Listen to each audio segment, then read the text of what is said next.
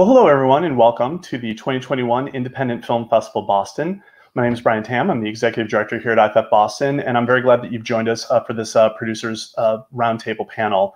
Um, before we get started, I want to thank a few people because it takes a lot of people to make this festival happen. So I want to thank all of our sponsors, especially WBUR, uh, our staff, our volunteers, our donors, our members, everyone who's helped support us over the last year. Uh, I especially want to thank our venues. Uh, we unfortunately aren't quite there yet. They are all working on opening, but they're going to need your help to make sure that they can do so. So please check out their websites to find out how you can help them. Uh, if you would like to uh, support us, uh, we recommend you go to iffboston.org and find out how you can do so via donation or becoming a member or many other ways. We would love to have you join us. Um, we we've all been locked inside for quite a while and we've all been watching a lot of movies. And one of the things that we've been thinking about here at the festival is, you know, what impact does that have on filmmaking and how much do we know about how films get made? And I think one of the things that doesn't get talked about a lot is producers. There's a lot of different kinds of producers. What do they do? What is their role? And we thought it would be really important this year to start focusing on that role, which maybe doesn't get as much of the attention as it should. Um, hopefully you checked out the conversation we had with uh, Amy Green and Chris Stinson earlier in the week. Um, and uh, we are very uh, fortunate to have um, some incredibly talented uh, producers uh, with us uh, today, um, all of whom have films in this year's festival. So please join me in welcoming Ariana Garfinkle, who has Spring Valley this year's festival. Welcome. Thank you. Marga Varea, who has A Reckoning in Boston at this year's festival. Welcome, Marga. Thank you, Brian and uh, Sarah Winshall, who has two films, uh, Strawberry Mansion and We're All Going to the World's Fair. Welcome to all of you. Hi. Uh, and to moderate this, I, another um, great producer uh, who um, most recently uh, had a, a, film at uh, our festival, um, Leave No Trace, which won the um, the Grand Jury Prize for narrative in 2018. So please welcome Linda Reisman. Thank you. Um, really looking forward to this conversation. So Linda, I'm going to hand Great. Thank you. And it's just so fantastic to, first of all, meet all of you, but also I want to congratulate you on your films and being included in the IFF Boston Festival this year. So, congratulations. Um, I wanted to start just really briefly and have each of you talk a little bit about your trajectory, how you got your start and your path to, to where you are now. Um, Ariana, do you want to kick us off? Sure. Yes. Thank you so much for having me and having the film. Um, uh, yeah. So I've been an independent film producer for about 12 years. Before that, I was in more of a company setting, but it all started, I would say, I thought I was going into journalism. I was on a journalism track uh, through high school and college, and kind of halfway through college, I started to take a lot of film classes uh, in my English major, and then kind of happened into an internship at a documentary film company. And from there, it was to uh, production assistant, and then a producer's assistant, and then an executive assistant. I spent a lot of time kind of learning and watching, and I had amazing mentors, um, two women in particular who really kind of helped uh, advise and guide me in the early part of my career. And um, so, and I ended up doing a lot of different things. I worked on set for a couple of narrative films. I worked on a Sandra Bullock movie. I worked on an HBO movie in New Orleans. Uh, and I just got to see all the different parts. What are the mm-hmm. pieces? What does each person do? And it was very much an on the ground kind of education.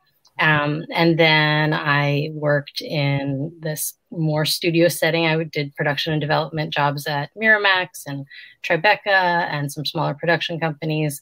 Um, and then also just kind of seeing how all the pieces come together and where could I fit in, what would be my skills and talents to bring to mm-hmm. it. And um, and then I went on my own in 2008 and I've been just kind of putting out mostly documentaries since then. Uh, I've worked on a couple of sh feature shorts and I've, I've, developed some features, but I'm really a documentary uh, film producer primarily. And yeah, I just really, I feel, you know, lucky to do this kind of work and um, work with teams that are so passionate. That's a really robust and layered history that you have. There's so much to dive into there um, on its own. And and Marga, how did you get your start? I'll try to keep it brief because it's a long story. Yes. But like, like, uh, like Ariana, um, coincidentally, I started in journalism. That's what mm. I thought I was going to do, and very, very quickly, um, I felt uh, an interest and a passion for films. And I was lucky enough to have an opportunity to apply that passion into a studio role very quickly. I was a screenwriter, no less, for a sitcom. So I spent um, a while in that world, also, like um, she said, learning and observing. I had a lot of different roles in the studio. Um, I was the you know script supervisor, and I was assistant in all kind of positions. Um, and then after that, I was involved in, as, as a producer, um, line producer, and then assistant producer in, in multiple short films um, and whatnot. But when I relocated um, to Boston in 2005, um, shortly after that, I realized that I was going to move into the world of documentary films. Mm-hmm. This was the industry here. Uh, I had a passion for documentaries already because I came from journalism, which those two worlds co- combine really well. And uh, yeah, I I dived right into it. Um, but I became a little bit of a different type of producer of what I ever expected because I'm an impact producer now, and I've been for the past uh, almost a decade. So, um, can, so can, my role. Uh, so what happened in 2008 is I was brought into this film that had documentary that had just been finished, and it had uh, been picked up by Sundance. It was going, everything was going really well, but they didn't know what they were going to do in that rollout, in that phase mm-hmm. of the distribution and everything you know was pretty traditional back then in 2008 um, so they wanted to bring in someone to help them figure out that strategy. And the idea or the role of the impact producer was starting to be you know uh, something people talked about in the industry. And so i became that. I i joined the film and i started to figure out when I'm not producing a film, I'm producing the distribution of the mm-hmm. film. I'm producing this this different road, you know, at the other side of the journey. Um, Would you say, um, for our audience who may not be familiar with different types of producing, um, that that role of an impact producer might be a parallel to a sales agent on a narrative or feature film? No, mm, no, it's it's really um, it's it's a very complex role, if I I may say so, um, and different people understand it in different ways. I can mm-hmm. speak for myself and what I've been doing for the past ten years, and it's a role that really extends uh, to many different areas, uh, but. Uh, at the core is to build and implement a comprehensive strategy for mm. the film that is um, creative, that is uh, uh, that maximizes the potential of the film. And it can go through any path. It can include film festivals. It can include theatrical, you know, independent uh, screenings, screening tours, uh, partnerships. Um, it's it's really very uh, multi-platform and multifaceted. That's fantastic. That is real. Well, a reckoning in Boston is very lucky to have you. Um, absolutely. You. And Sarah, can you tell us a little bit about how you got your start? Sure. Um, I was um, I studied cinema studies in my undergrad uh, studies and um, had really liked, just loved movies forever and um, was not really sure what to do with that degree. Um, and was uh, I went to grad school for media studies, thinking, well, that might help. And then um, had been working in and out of the film industry, kind of as an assistant here and there, and uh, as working for like a B movie distribution house uh, that made like nude nuns with big guns, and I was, you know, um, just like as their receptionist and kind of popping in and out of yeah working as a waitress and then you know um, but then i uh, i was working at a video store in new york uh, while i was in grad school and then made a friend there um, and she and i both ended up moving to la around the same time and ended up between jobs at the same time. And she's an actress and a writer and a director um, now. And at the time, she was a comedian and um, kind of looking to start making films. And she said, you know, you've always been someone who I trusted your taste. Can we try to figure out how to make this movie together? And I'd always been a person that my friends would say, like, can you read my script and give me feedback? Or, you know, I went, I you know, I went to art school and I went, uh, went, you know, was at NYU for cinema studies. So I was always kind of that friend. And so I didn't really know that I had been producing a little bit um, for a long time. And so in mm-hmm. 2015, we shot this short that um, she had written and it got into Sundance in 2016 and actually played at IFF Boston and oh. won, I think it won an award. I was very proud because um, I'm from Massachusetts. Um, so I was happy.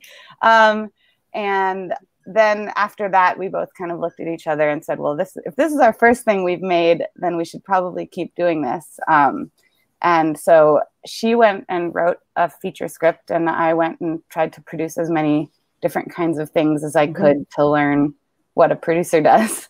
Um, so I, you know, I did music videos, I did commercials, I did a bunch of short films a couple of which ended up also playing at IFF Boston in the past, um, and uh, you know had had success there while learning. And then we went off and shot a feature in 2018 um, called Clara's Ghosts, and then uh, since then I've just been kind of continuing the grind. That's so great. Um, it, yeah, it wasn't necessarily a goal, but um, now that I'm doing it, I realize I've always kind of been doing it. You were meant to do it. It's so interesting. I love how everyone has come to producing from such a uh, a, a, ba- a, different backgrounds, but also very similar, of doing different things in the industry. Some working at companies, some you know uh, working freelance, uh, and, and, that's uh, it's very different now. I think there are a lot of film students that have in mind that they want to, you know, produce.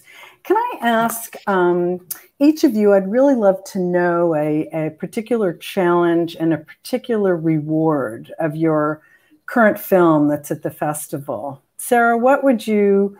Um, uh, I know you have two. I think you have two films, but do, yeah. um, you have to pick one.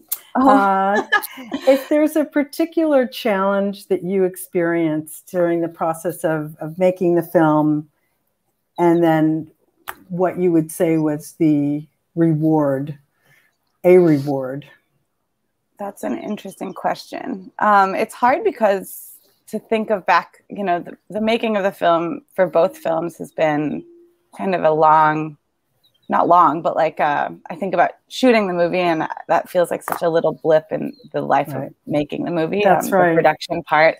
So I'm trying to think I'd definitely say for both films, a big reward was that um, for both Strawberry Mansion and We're All Going to the World's Fair, um, we shot those um, right before the pandemic mm-hmm. started. Mm-hmm. So We're All Going to the World's Fair, we wrapped on March 2nd. Um, mm-hmm. And I flew back from New York to LA on, I think, March 8th of last year. So um, we really just barely made it. Mm-hmm. Yeah um, and Strawberry Mansion we shot at the end of 2019, and then we had planned for some more kind of splinter shoots throughout 2020 that we ended up canceling, and we didn't need them. Mm-hmm. Um, but that I got very lucky that throughout last year, when production was not an option, and um, you know we were all home a lot, that I had two films that were in the edit stage, and every yeah. two weeks or every week I had a meeting with my team um, for each film, and uh, it really like it really kept us going. I think, yeah. and it was really um, a beautiful experience to be able to be part of that creative process during a time when I was really able to focus on each film in a way that if I had been also on other productions or kind of trying to make other things happen, um, I wouldn't have had that kind of undivided attention. Um, and also just like looking forward to those Zooms every Absolutely. week. Um, yeah. It was a really like beautiful thing, and both teams are not. I'm based in Los Angeles, and one Strawberry Mansion, the team is based in Baltimore, and World's Fair, the team is based in New York, and it ended up really not mattering. Um, I was right. nervous mm-hmm. when I joined both films that I would feel like far away. Um, right. So that was, I'd say, the reward answer. Um, and then as far as challenges, I mean, it's uh, it's it's been challenging not to have seen the movie, except for on my computer um, for both. I think. Um, sure. that that's maybe not an answer about like producing the film, but no, that's a, That's a challenge. We're, yeah, we're working on yeah. releasing both films and putting them out mm-hmm. in theaters. And at this point, there's a lot of people at, out there that maybe have seen them in theaters, and I'm not used to that. It feels a little like wobbly. I'm a little nerd. I'm like, what's out there? We, we we really feel good about it, you know. I, I'm really proud of them, but I do feel a little bit almost disconnected or something. They both premiered at Sundance and it was just such a it was such a wonderful thing, but also kind of a heartbreaking thing to not be able to sit next to my so different, yeah, a different Sundance. Yes, and, and thank you. And Ariana, what about you with Spring Valley? Um, any particular challenge uh, in in getting your film made or getting it seen?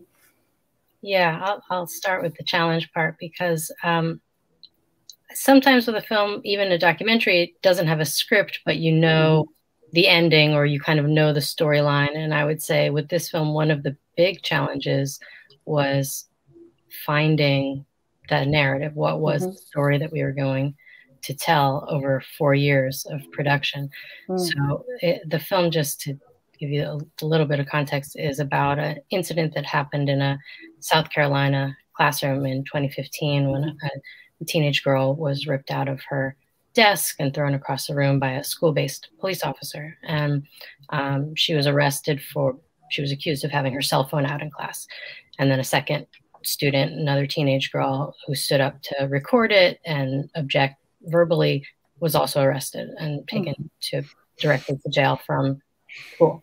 So it's a very challenging topic, just a really mm. difficult and painful um, topic, but felt important, you know, to bring to light, um, especially because I think this was a video that went viral. A lot of people saw in 2015, mm-hmm. but you don't really hear anything further on a, on a lot of these incidents. You know, some there's a there's a large reaction, but people don't know what led up to it, what happened after, and what the context is of the systems that are built to enable something like this uh, on a regular basis. So we began with just that incident and the, the story that the second girl who stood up had become a plaintiff in a case for the ACLU to try to take down the law that the girls were both arrested under.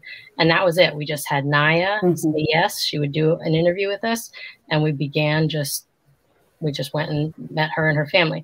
So from there to put all of the other pieces together where where are we headed and how can we you know do the most um, justice to this story um, along the way so that that was and so here we are four years later and this is the reward is to be able to uh, see it enter the world and like sarah said it is really hard to not watch people watch the film and yeah, not sure. to interact but i do feel really grateful that uh, one of our our main participants in the film, Vivian Anderson, has been able to be part of. Uh, the, she was in the IFB Q and A, and to really engage with people about the film and to receive um, the the feedback. You know, at least in some more personal way than sure being out there. So this is the the beginning of the reward phase. I think is being able to connect people, see the impact, um, and the kind of work that Marga is doing too. Just you know to be able to to see some change potentially come out of the work that you're doing. Yeah. Yeah, absolutely. And and Marga, with a reckoning in Boston, was there um, a particular challenge that you had when you started working with the film?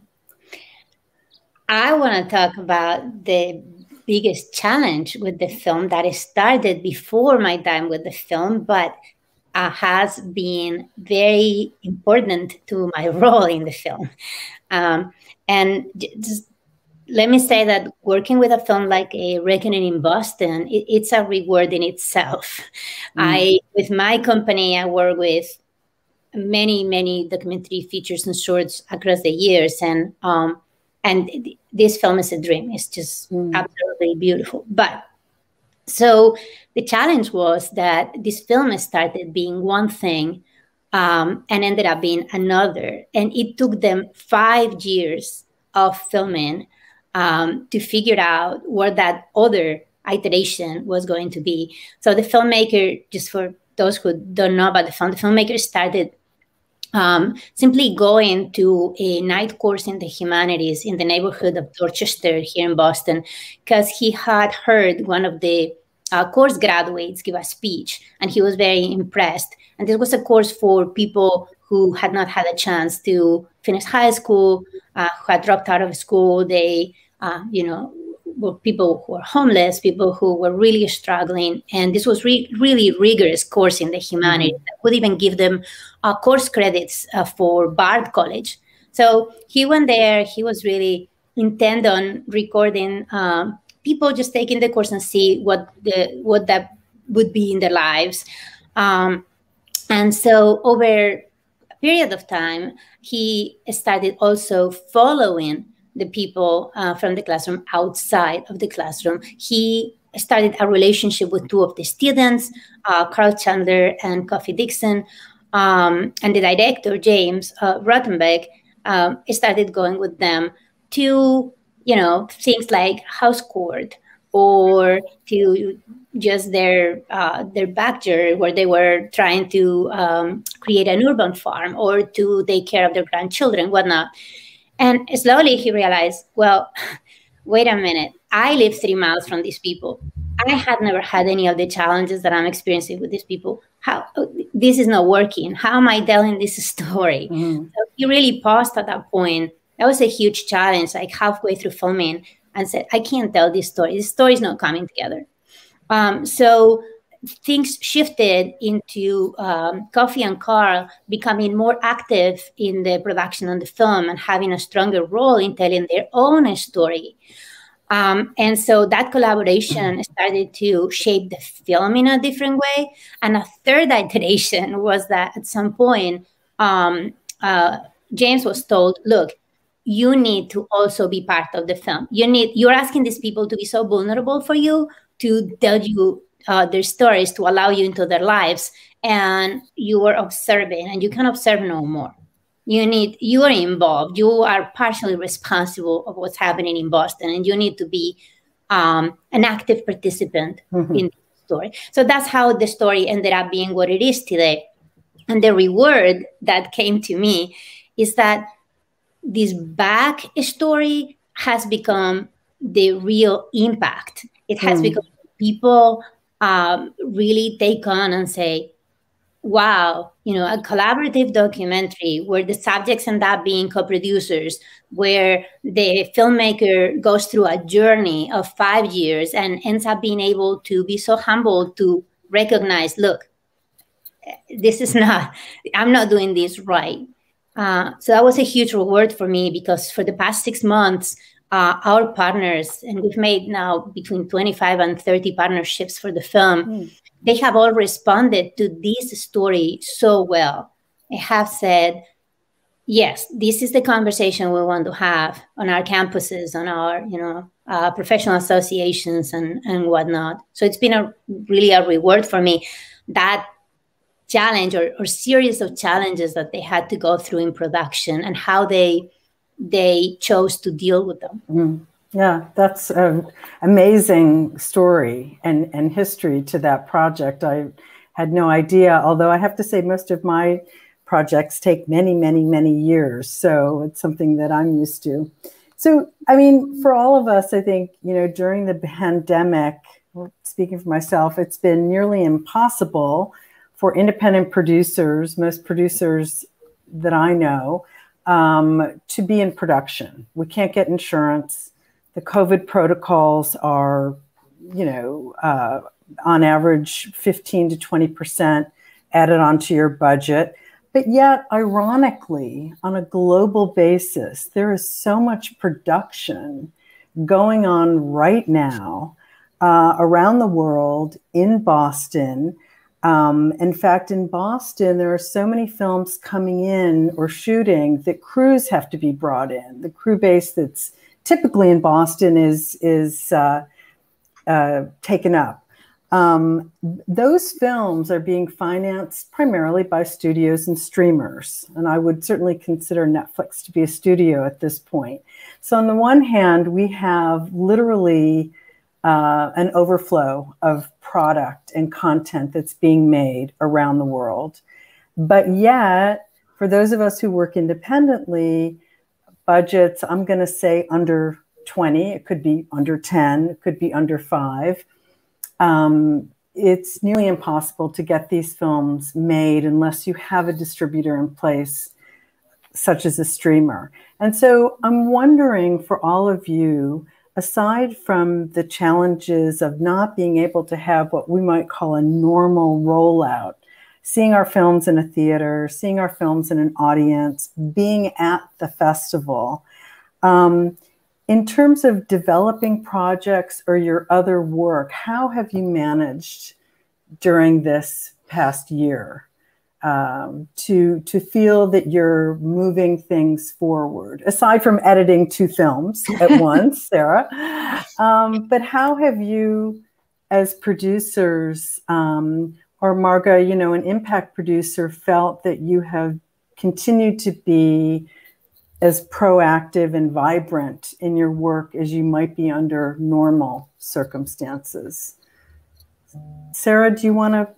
Um, do you have any? Yeah, thoughts? I have a couple of thoughts. Yeah, um, one thing that happened that I thought was really sort of nice was that um, I was able to. There's a couple of projects that I hadn't been able to make time for last year. Mm-hmm. notably, a documentary that um, is all the footage had been shot, but um, the director had been sort of needing to get to the next phase. Mm-hmm. And um, it's about um, a phone hacker uh, named Joybubbles, and it's about connecting with people over the telephone when you can't be with them. Mm-hmm. and so that was a project that I was able to kind of jump in on and and and we're moving it forward now. And it's in po you know it's in a post stage so that was something that we were able to kind of get a little bit more traction on because we were saying like well you know i mean we're still saying it. It's not you know finished or anything like that. Um, but that we can say we can make this now and there's no added there's no added covid costs like we are work you know we are happy to work with an editor remotely even if covid mm-hmm. didn't exist and we have animation elements that we were going to be working with freelance animators anyways so um, so that's been a really exciting project that mm-hmm. I would have mm-hmm. probably not necessarily been able to jump on. Um, mm-hmm. So that was one thing that happened. And then I will say the other thing is this week I am trying to make a movie. Um, yep. in my backyard right now. We're doing oh, a makeup great. um, and it is. I will. I will agree with you, Linda. It is very hard with everything, and you know these are micro budgets under you know under three hundred thousand dollar movies oh, wow. um, that we're making, and and um, it it is kicking my butt. I will say it's been so hard.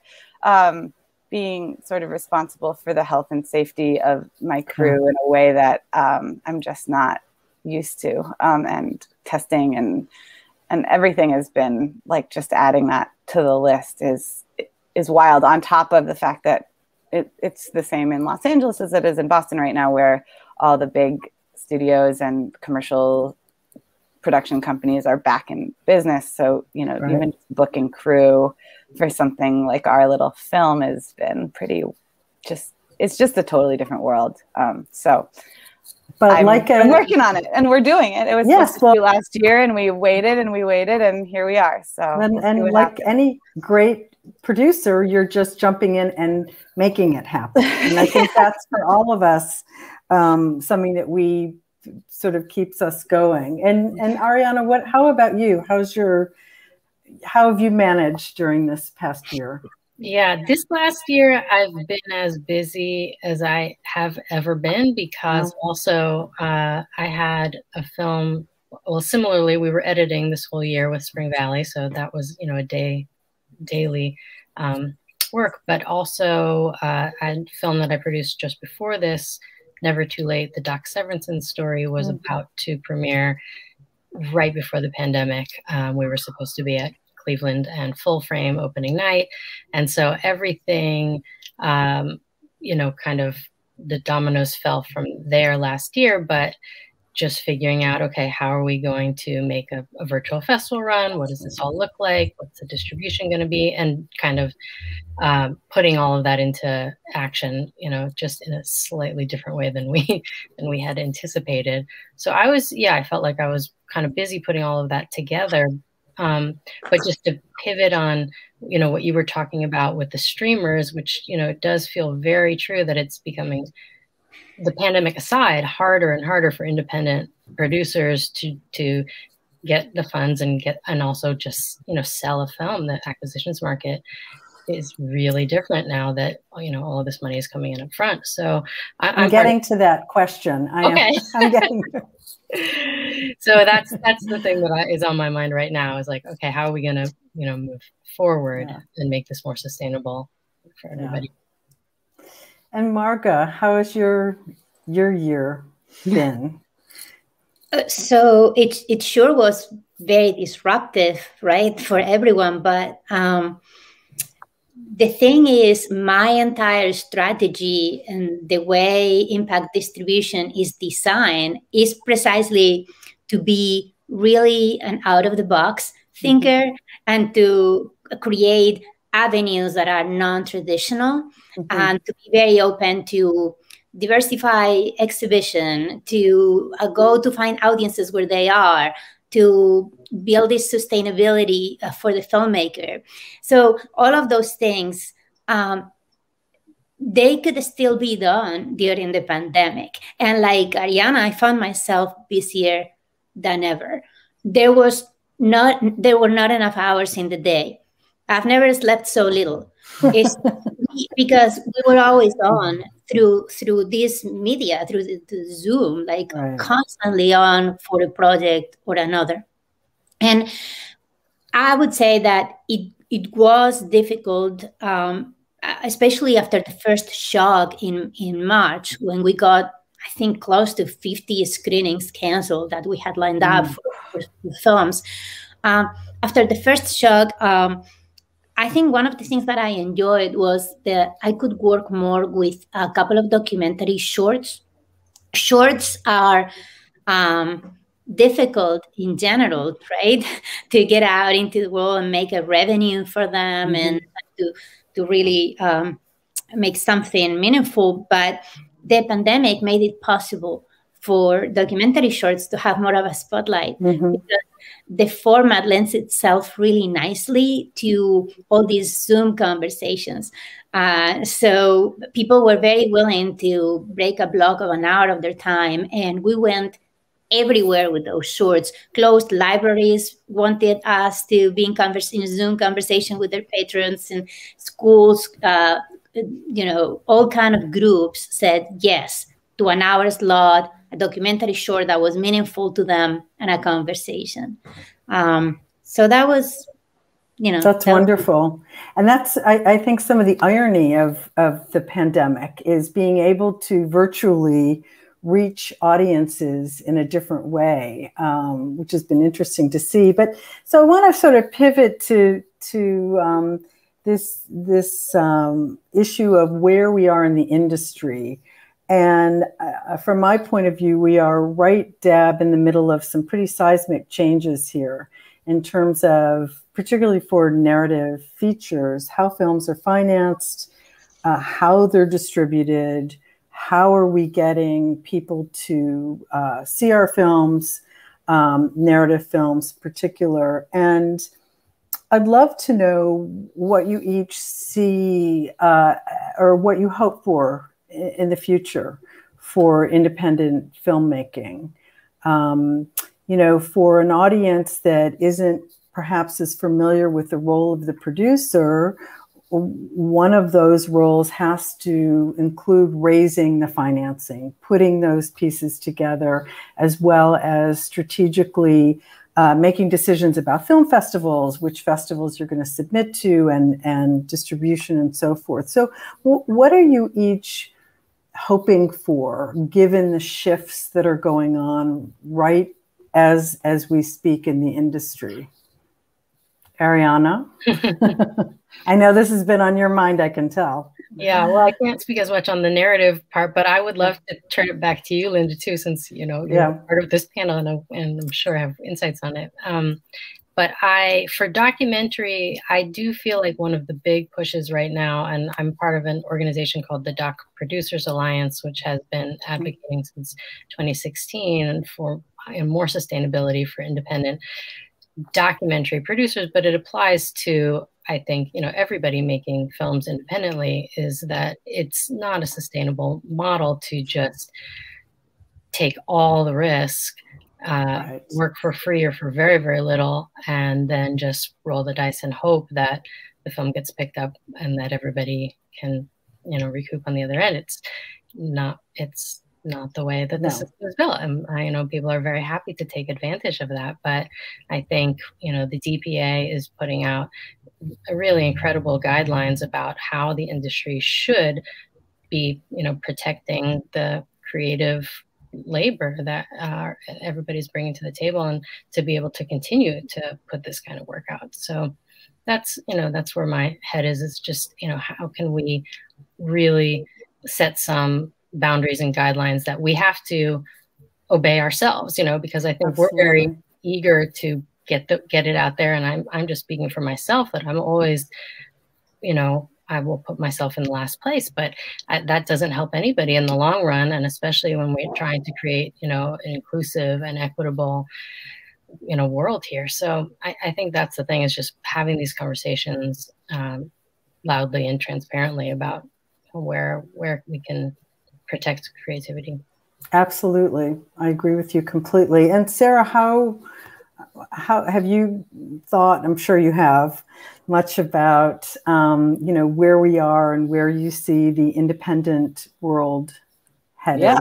I mean, I, I definitely agree with everything Ariana said, and I also am part of the DPA and working in the in one of the working groups about sustainability, trying to help us figure out, you know, getting some kind of industry standards on how we mm-hmm. treat our ourselves when we make a movie because um, it's just it's something I feel like I'm always talking about with my colleagues and always comes up in conversations like this, which is that like increasingly our job, especially with the streamers being more and more kind of involved uh, with certain kinds of projects, um, our job becomes more and more important to vouch for the other kinds of projects, mm-hmm. which are, you know, not to say that um, the movies I'm making won't end up on a Netflix or whatever it is, but that like that the point is that we're trying to make stuff that can kind of live in all different kinds of places and not be beholden to the to the mega corporations and and you know I, I think of myself as someone who's making art and so um, trying to keep that in mind and and also make m- movies the way that I was taught it happens is that I was taught, you know, like you said, Ariana, you put yourself last. You got you you know too much to ask for to demand a fee up front. You know, it's like we we're the ones making the budgets. We all know too much. Um, and so I found that the DPA, um, what what we've been doing, what they've been doing, I just joined it, but um, has been really helpful to remember that like there's only so much we can do for ourselves and if we don't do it for ourselves first and that like absolutely by working for free you're doing an injustice to everybody else that's doing this job as well so um, i agree that ariana i'm hoping that that kind of conversation just like becomes louder um, and i think it has been um, and so now it's a kind of we're getting to a place where it's going to be a leap of like, is is the rest of the industry going to come with us? and you know, right. like if if they don't, I don't I don't know that I'll be able to keep doing the work, and that's I think a frustrating yeah. feeling to have. Um, I so. think that that's we need a separate panel to to talk and be able to explain different roles that producers have and their income streams. You know how a producer that a line producer uh, can be hired to work freelance to oversee the nuts and bolts of a production a creative producer, and I know some folks don't like that reference, um, develops material, works for years and years without being paid until film gets made. So that idea, Sarah, I am not a fan of, of, you know, put yourself last and don't get paid. And so that's another conversation right. that we have to have. I will say, and I don't know how public this is, so I can't say a lot, that there is uh, for narrative producers a very, very robust movement afoot um, in an organizational uh, uh, manner to um, protect producers, creative producers. So hopefully we'll be publicly uh, announcing something within the next year. It is not associated with the Producers Guild, although the Producers Guild knows about it and is very supportive of it. But for a lot of those things, Sarah, that you you just yes, referenced. I definitely you know. am, have been in those those meetings as well. I'm definitely yeah, you have. yeah. yeah. Okay, uh, so you yeah, you know yeah yeah we're and, I think we're gonna you know there's some tide will change somehow. It has to because we're the ones kind of pushing things along. I mean, it's true. So. Well, and I think that folks, again, um, I'm thinking of an audience who might be watching this, may not realize that producers of independent films um, don't necessarily aren't necessarily paid very much for their labor, which goes beyond the period of of pre-production and production and post-production. Um, and this is, we're not talking about the $100 million Apple and Netflix shows. We're talking about something very different. Um, I'm curious your, your views on the future and sustainability in the documentary space and, and what you see. Um, I just want to add that I have been very excited by the interest in doc films over the past couple of years. That uh, there is a, a, much bigger audience, it seems to me, for documentary films, which is great. Yeah, I, I completely agree with that. And um, and thank you, Ariana and Sarah, for the work with DPA. I've been following that. And I didn't know anyone uh, personally who was involved, but I think that they've been doing great work in in yeah so I would speak of the distribution uh, piece because mm-hmm. that's, that's my expertise right now. And I, I think there is no going back, that there is, uh, as you said, seismic changes in the world mm-hmm. of distribution. Uh, and it will never again be the way it was, which I consider it to be a good thing. Um, I started into the work that I do because I wanted to be an advocate for the films, mm-hmm. for the documentaries, because I was seeing a lot of, um, uh, I don't know what's it, but a lot of abuse in a way in the, uh, when documentaries go out into distribution and how um, uh, people handle that situation. So traditional distribution sees uh, itself as a destination, right? Mm-hmm. Placement, a, a, a, place where to go and, and park the film. And the way I've seen distribution and impact producers work is we see distribution as a journey. Mm-hmm. So it's a journey to make the film, and there is a journey to get the film out into the people who should watch it and should uh, use it for multiple purposes that are not simply to stream it from you know a big corporation that is going to end up paying you very little taking the film, signing a contract this thick, saying that you basically have no more rights after you put your signature in there. Mm-hmm. And I've also been always been a big fan of multi-platform, of non-exclusive deals, mm-hmm. of uh, really work add everything, every single window and every single aspect to maximize your potential and to feel free, you know, to hold your your document and your from close to your chest and say, this is my work, my labor is valuable. And no, it's not gonna go on YouTube for free. Or no, I'm not gonna accept that payment. That's not enough. Or right. uh, so this kind of negotiations and this fight needs to continue to happen and be more of the norm and there needs to be more transparency in the field. There's to be more, uh, uh, you know, diversity in the field, and all of these things that I think the pandemic has uh, brought into light and into the, the forefront of the conversation. They need to stay there, and I'm I'm hoping for change. Well, my last question, I see we're we're right up against it here. Um, what advice do you have for emerging producers?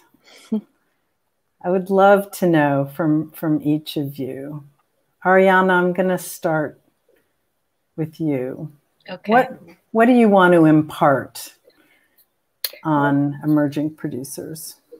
Um, I think the the one thing that maybe we haven't talked about really is what is a producer you know what does mm-hmm. a producer do? Because that's what people ask me all the time. And um, you know i just want to i feel like what i want to say to an emerging producer is yes you're you know at the end of the day people see you as the keeper of kind of the legal and the financial. These are the, the sort of headlines of what are our responsibility. And i think that's important to highlight because you know just in that what we were saying before about distributors and streamers, they need those parts to be secure. And so, you know, it, it is a very important role. But I, you know, for a producer that's um, passionate and creative, you know, as we all are, I think it's really about the relationship that you have with your team and with your director. Mm-hmm. And finding the right people to work with that appreciate, you know, all the things that you have to bring to that process and um, that that it's a true partnership and just really think of it that way that you're not uh, you know support team you are a team. Yeah well said. And and marga what what advice would you impart on an emerging producer? Um i i would say if you want to dedicate yourself to the field of impact production um you really need to be passionate about the films that you're going to work with. You need to be very knowledgeable of the industry. You need to uh, be very creative and you need to know what you're getting into. This industry mm-hmm. is is difficult in terms of sustainability, um, but it's also very rewarding uh, it's the best job in the world, I think. Uh, for those of us who work in film, we can't leave it no matter what. Um, so, yeah, you know, believe in yourself, look around, learn, be flexible, be humble, um, and and just go out and do it um, and and love the film. Just just love it and believe believe in it. That's really well said. And Sarah, what would you impart on an emerging producer? Um, I think similar similar advice, I guess. Um, I would say that part of the the is the part of the kind of growing into the job is figuring out what parts of the job you really mm-hmm. want to make yours and communicating that with the people you're working with because um, that's been i think the more i do that the more success I have and the kind of more kind of success I oh sorry, hold on. Guys, sorry.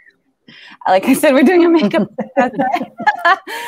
um, Perfect. Yeah. um, but uh, yeah, just to to say to whoever you're working with, because it can be a little bit unforgiving. You know, this is the part that I'm excited about, and so you know, there's going to be a lot of parts that we do with the filmmaking that we aren't excited about necessarily or that are hard um, and and a little bit punishing but to make sure that you're clear with the filmmakers you're working with that um, you know they're that you're there for what what reasons you're there for, what they want from you, and what you want from them. I think that's a really right. important conversation to have at the beginning of any project. That's very important. And and Ariana, you're right. We didn't really talk about that role of a producer, which is can be all encompassing. Um, I like to think of great storytelling, communication, collaboration. And mm-hmm. because so much of this industry, and, and Marga, as you said, you know, it, it can be unforgiving in a certain way, uh, is about rejection, not raising the money, not getting the actor that you want, um, not getting the location you want. Having a robust support system, I think, is um, at least for me is is essential of other producers. So I, I hope that we can have a, a part B of this panel at some point. But thank you all for participating today and congratulations again on your films. Very exciting. And I'm sure that the IFF uh, audiences will feel the same way. Um, yeah, on behalf of the festival, I want to thank you all. I mean, obviously, uh, Ariana, Marga, and Sarah, just for sharing your films with us, mm. uh, but all of you, including Linda, for sharing your time. I think this was a fascinating conversation. I think it just proves we need to have more of these. Uh, so we look forward to having more of those in the future. Uh, so thank you again for joining us, and uh, thanks everyone for watching, and uh, we'll see you soon. Thank, thank you. you. Thank you. Thank you.